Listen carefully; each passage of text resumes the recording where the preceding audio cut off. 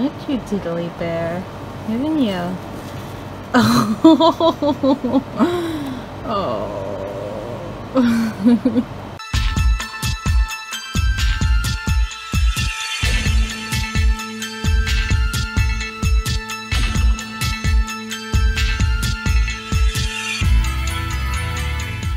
Hi guys and girls, so looking like an absolute hot mess because guess what? I'm an absolute hot mess. It is boiling still. Healthy breakfast. Um, so I've just been sat here trying to find the willpower to edit my Halloween haul. I really want to, I'm just very tired. Um, my belly button is not in a good way. It's quite red and sore. So I'm going to send a picture to my piercer now and just see what they say. Um, but I think it is just where it's so hot. Um, so today the plan really was to go home, post some spooky box stuff which I sold.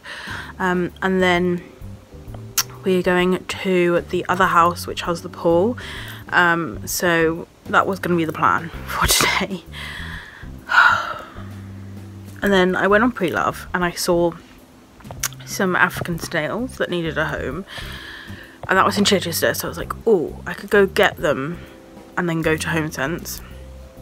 But then the snail lady never actually replied to my message.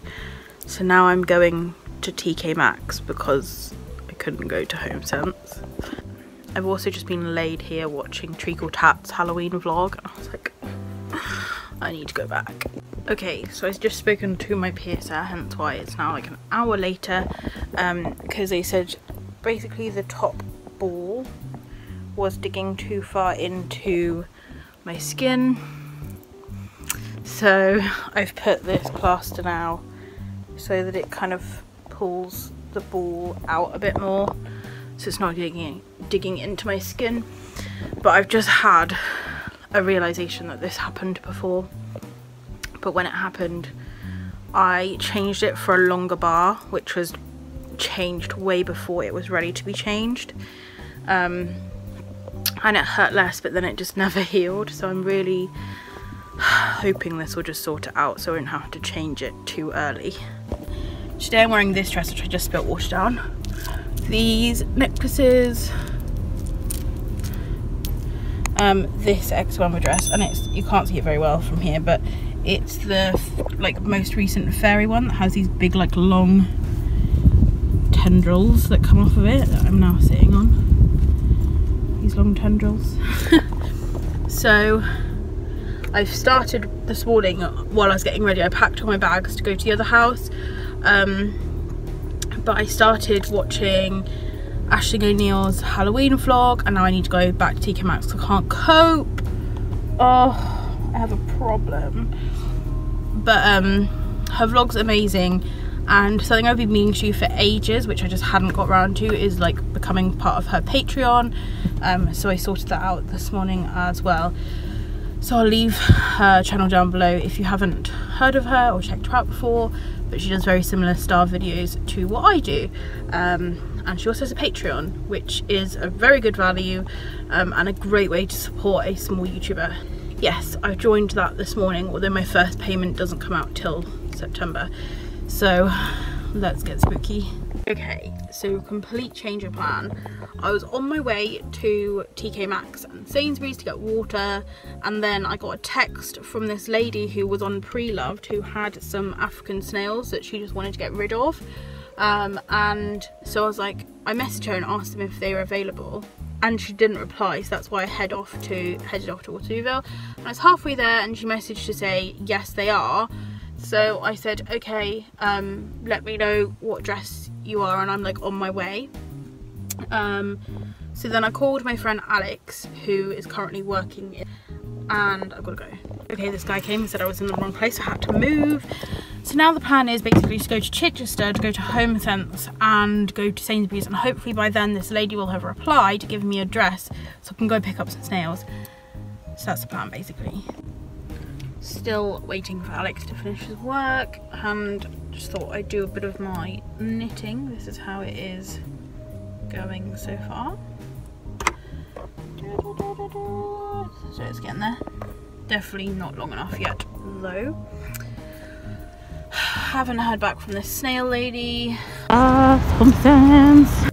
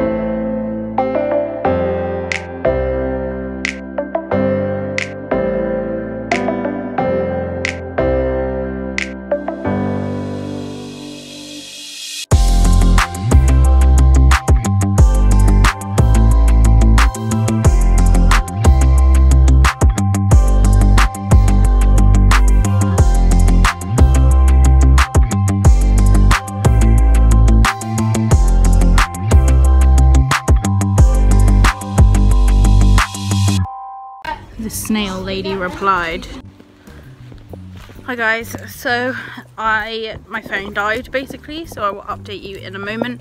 I've just got to the house of the pool because it's just too hot. I can't cope anymore. Um, all my necklaces are just, oh, so just gonna take all my stuff through and then I will update you on the craziness of today. Okay, so right let's start the beginning update on my belly button. What um, I've done is basically put a squishy dressing behind the ball to push it out and then a tape dressing to push it up so that the ball is no longer like in my skin if that makes sense. Okay so an update as to what happened today. Are you okay there? What's wrong?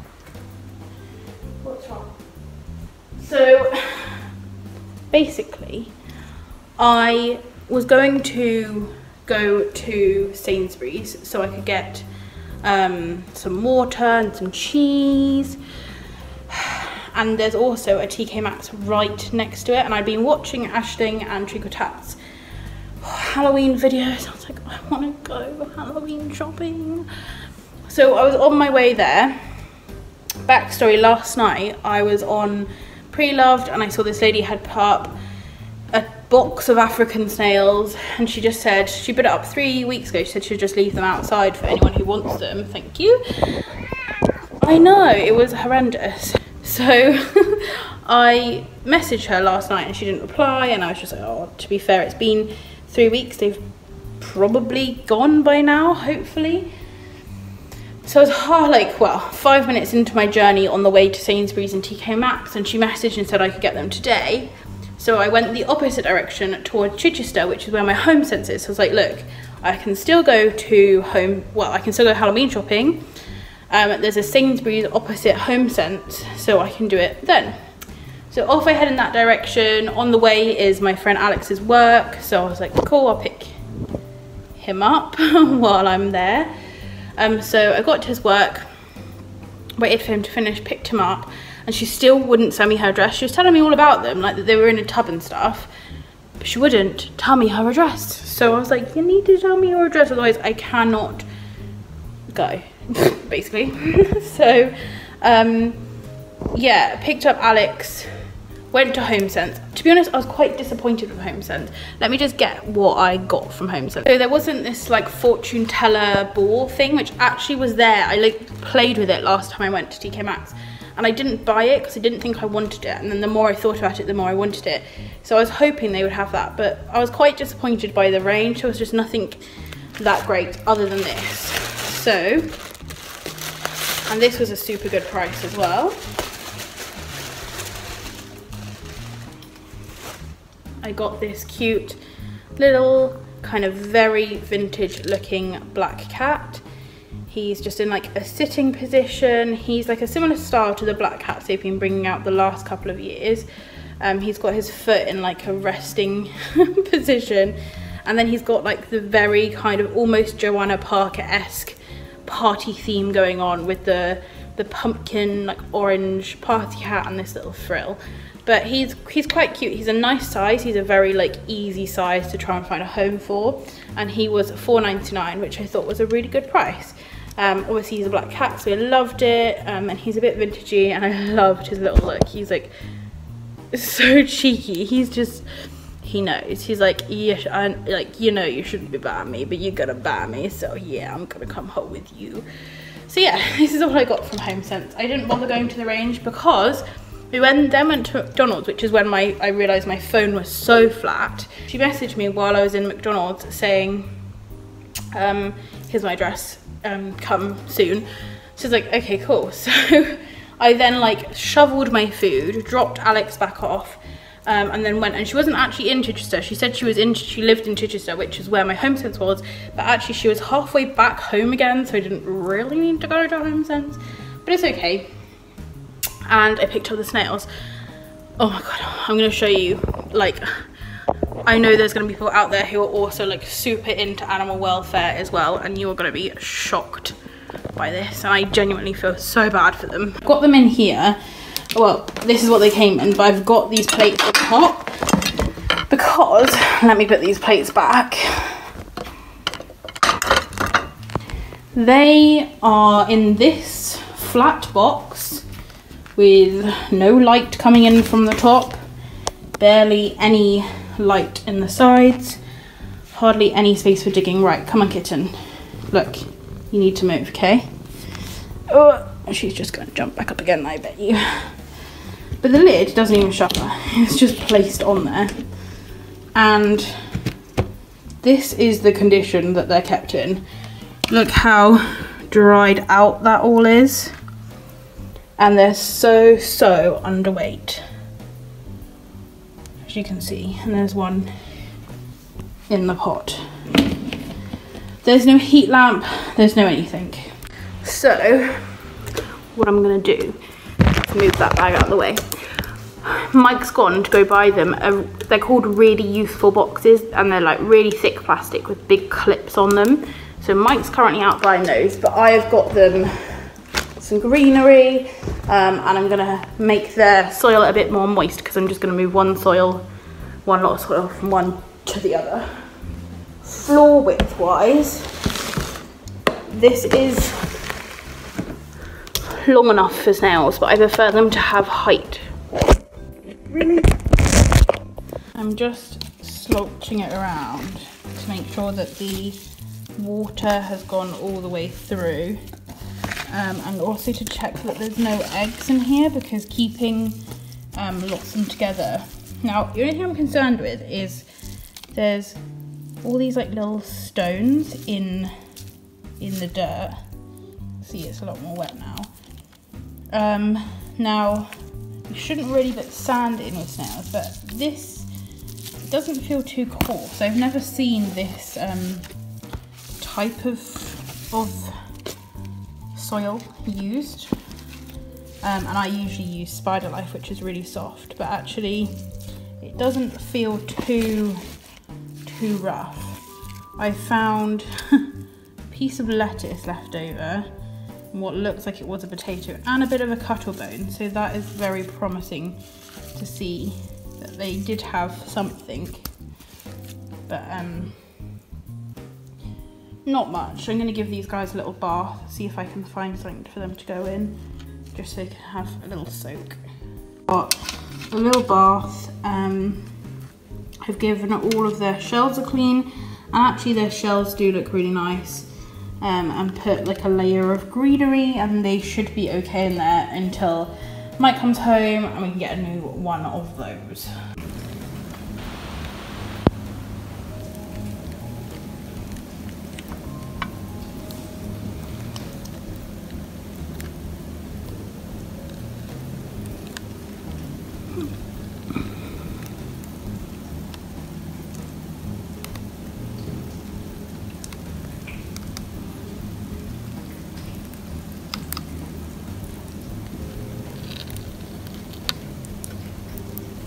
So I'm basically now doing a vegetable frenzy. So I've put loads of different types of vegetables in here um, and seeing which ones they like.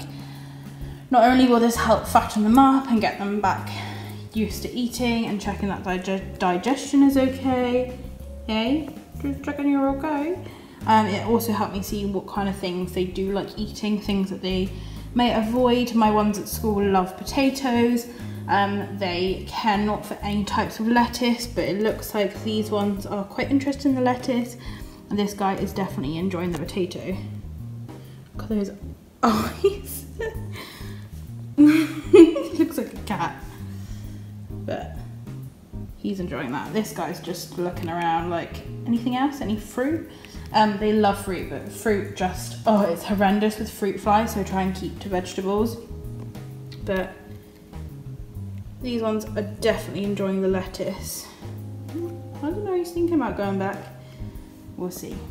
As well, you can start to see if they do have any damage to their shells. So you can see that this one actually has um, a crack in his shell. It looks like maybe a fingernail.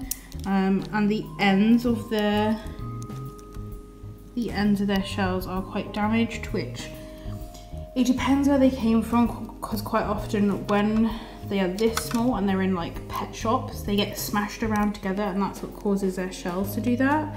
Um, and if this one has a crack too, their shells, and another one there, I think they've all got some damage, but not horrific and nothing that's going to affect their lives. Um, just hopefully all their digestion and stuff is still okay. Um, but they seem to be enjoying their food, other than this one is not eating much. Oh no, she's got something. You can see how hungry this one is. Look, oh, and this one's going for the uh, the potato too.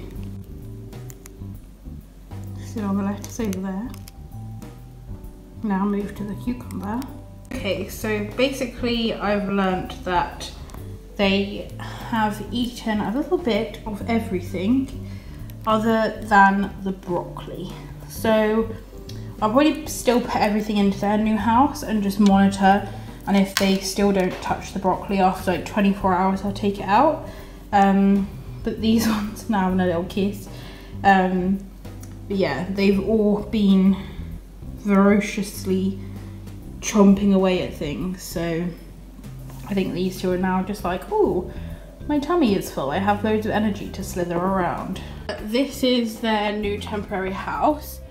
It's the same make as the ones that my my other snails currently live in. my laptop down there.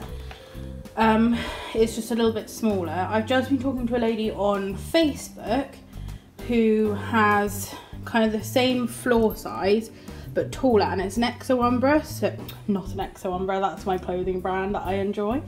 It's an Exo Terra um, and it's like a glass one and it will blend in, like match all the other ones that we have. So when we do move out, it will go really nicely with all the other ones. Oh my goodness. There's a baby snail in there.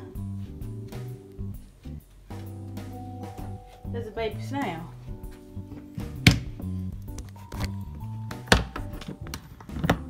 There definitely wasn't any eggs when I checked earlier. Oh my goodness.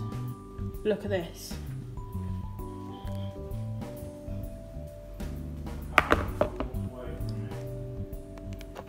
This is the size of my hand. Well, that's different. Never had a baby snail before. Um, well, this is their new house for now.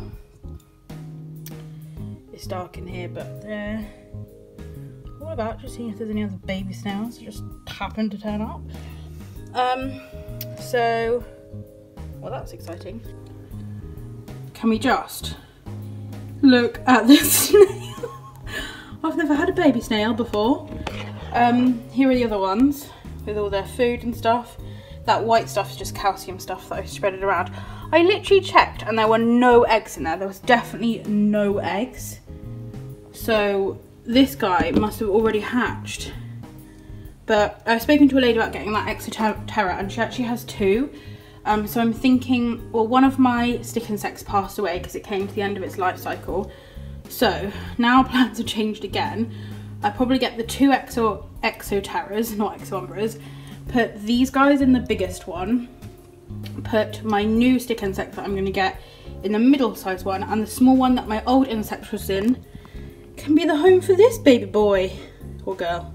I'm gonna have to do some research now about baby snails. So thank you very much for watching. If you do have any questions comments, please leave them down below. If it's sunny where you are, I hope you enjoy the shade and I will see you next time. Bye!